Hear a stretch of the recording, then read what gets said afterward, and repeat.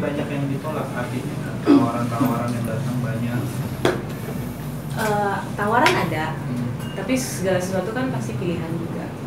Dan tahun ini dan insya Allah mudah-mudahan tahun selanjutnya aku memilih untuk lebih fokus sama bulan satu ini supaya nggak sia-sia aja waktunya. Berarti sengaja memilih memilih milih job di bulan Ramadan atau memang suami juga meminta ke Mbak Dewi bagaimana? Kalau Agus, Agus orangnya yang sangat fair ya. Kalau misalnya itu adalah pilihan aku dan dia merasa bahwa aku ber- mau bisa bertanggung jawab dengan keputusan aku, pasti dipersilakan. Cuman ini dari pribadi aku yang I don't think so, not this year. Dan mudah-mudahan for the rest of the Ramadan yang dikasih, mudah-mudahan belum tentu Ramadan depan saya ketemu lagi. So you know, I feel like ya kenapa enggak?